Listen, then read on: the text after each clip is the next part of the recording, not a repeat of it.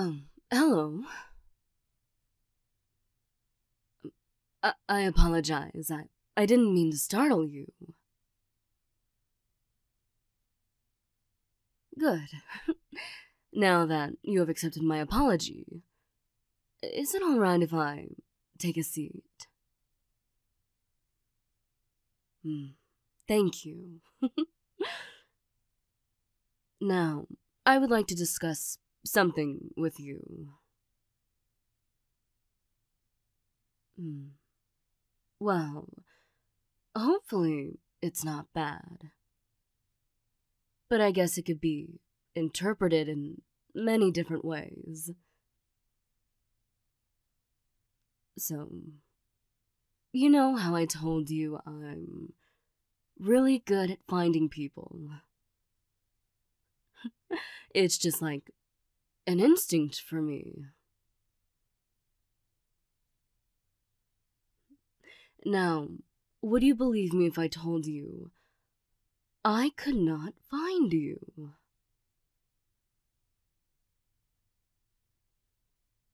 Well, I had just recently updated my hair collection. You see, I like to collect many different things. And hair is so beautiful and interesting. I really wanted to show you. You know, with you being my friend. Mm-hmm. And see, since I couldn't find you, I thought, well, there must be something wrong with me. And then I thought, there must be something wrong with you.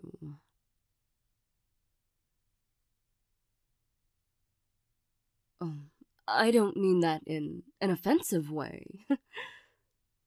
no, I just was worried about you. You know, anything could happen. I should know. So I was just concerned for you. Worried maybe something not so nice happened.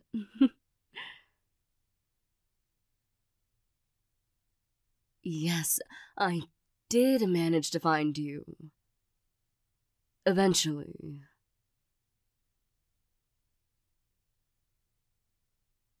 Why why were you avoiding me?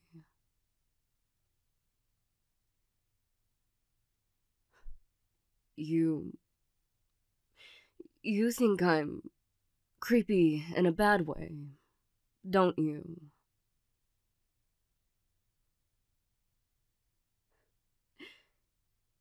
I used to have a lot of friends. They were also fun to be around. No one judged one another, and everything was happy. But then you get older. People start defining themselves, branching out, and, you know, finding where wherever makes them comfortable. All my friends left me. As we all grew older, I wasn't.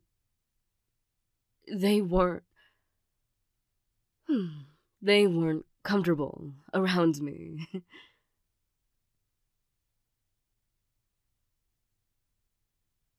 and then I just didn't have anyone.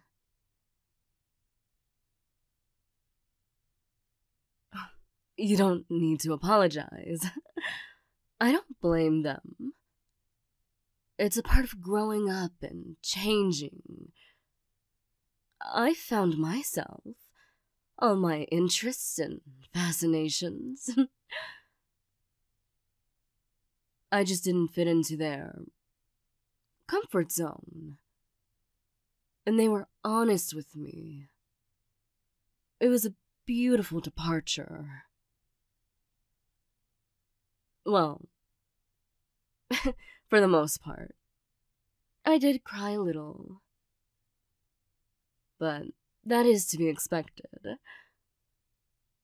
Uh, but don't worry, I saved my tears. They're in a bottle on a shelf in my home. Oh, it's beautiful.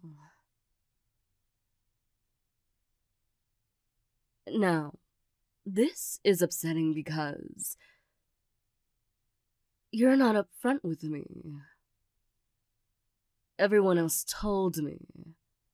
They were honest with me, and I respect them for it. But you just left.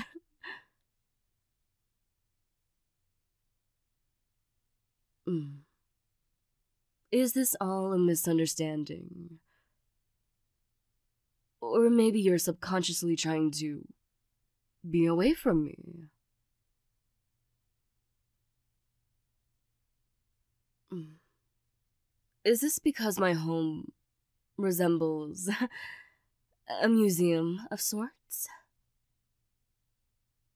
Was it too much for you?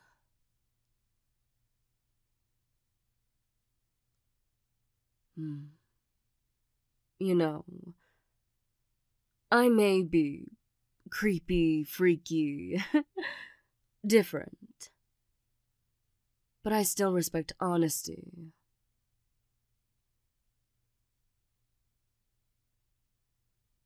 Hmm. So, I just couldn't find you.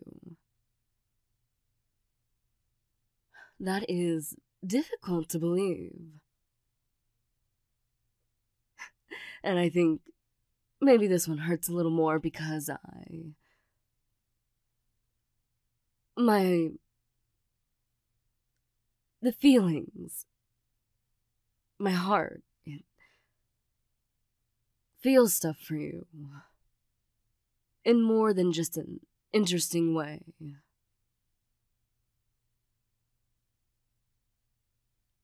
Mm. If you don't feel the same, I completely understand. We can remain friends. Or I can never see you again. Whichever you prefer.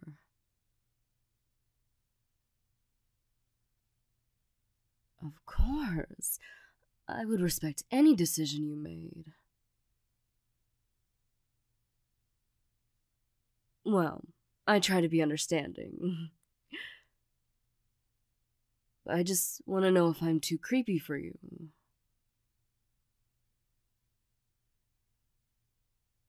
Oh, mm, I see.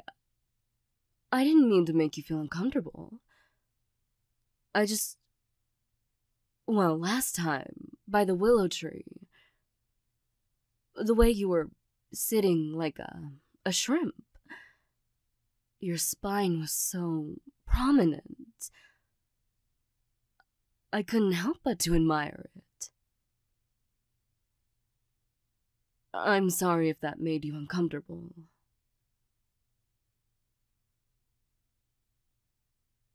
Well, if you can forgive me, I promise to respect your personal boundaries more.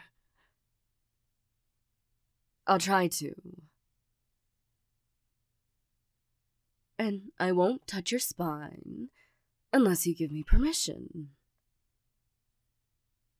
You'd think by now I would learn my lesson. Sometimes I just can't really help myself. But although I'm seen as this creepy thing, I'd like to think I'm a decent person. I'm still human after all. So, what do you say? Do you forgive me? Great. I can take that as an answer. A good answer. So, since you seem to forgive me, why don't you come to my place and I'll show you my bottle of tears? mm, I think you'll find it absolutely beautiful. What do you say?